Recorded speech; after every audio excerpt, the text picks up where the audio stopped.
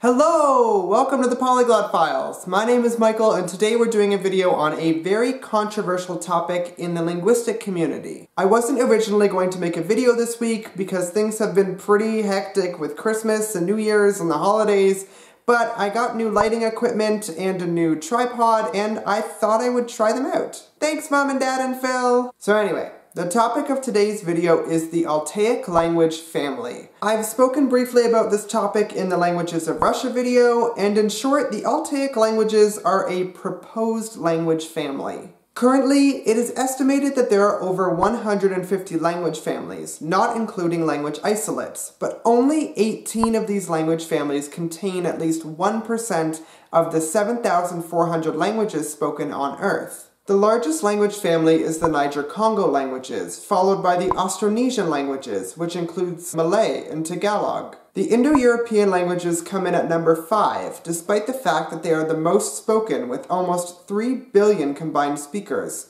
And the Afro-Asiatic languages, which includes languages like Arabic and Hebrew, are at number 7.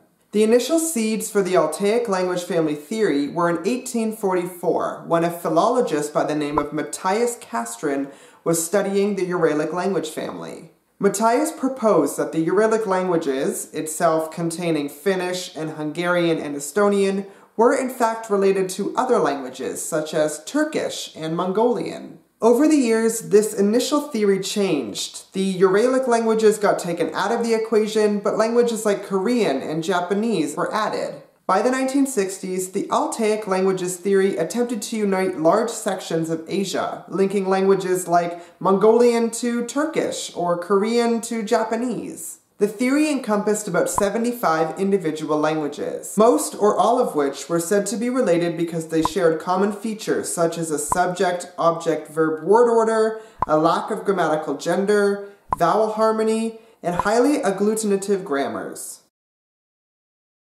Further research was done during the 1980s and the 1990s, and the theory gained quasi-acceptance in around 1991. A researcher by the name of Sergei Starostin used 110 of the most common words across all languages to compare the languages within the Altaic language family. Through his analysis, he discovered that the Turkic languages and the Mongolian languages had a lexical similarity of 20%.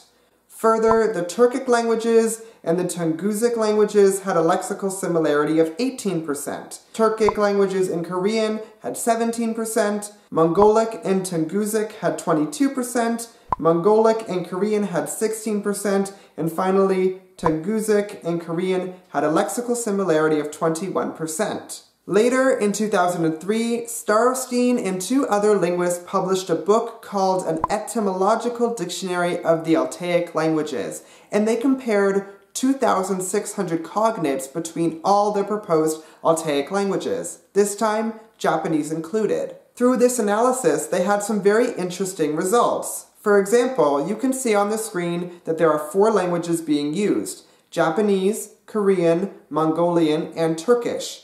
The first word, one of the 2,600 that they compared, was the word hard. Not only do all of the translations start with the k sound, but they also all end in vowels, except for Korean. The same can be said for the word black, translated into these four languages. They all begin with a k sound, and three out of four of these words have the letter r either somewhere in the middle or at the end, except for, again, Korean, which does seem to be the odd one out. So with all the lexical and grammatical evidence that there seems to be to link these languages together, why is it that the topic of the Altaic languages is so controversial, and why are these links so contested? Firstly, critics of this theory are not convinced that these languages are related to each other just based off of similar grammatical features or lexical similarities alone. To explain the similarities between these languages, critics point out that the languages of the Altaic language family would have experienced a large amount of language contact.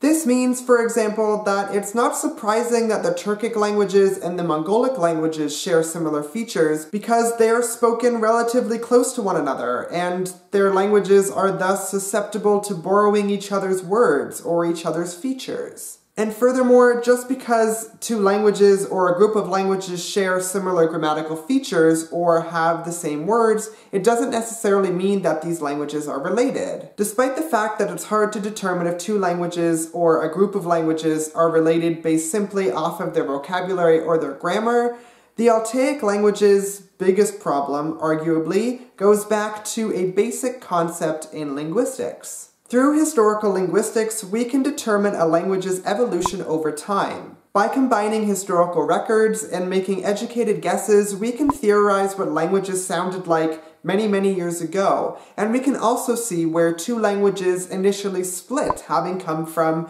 a common ancestor language. The point I'm trying to make though is that through analysis, we can see how languages have become more dissimilar over time. Inversely, this means that the further we look back in time, the more similar these languages should be getting, because in theory, they all are originating from a common ancestor if they are part of the same language family. However, the exact opposite has happened in the Altaic language family.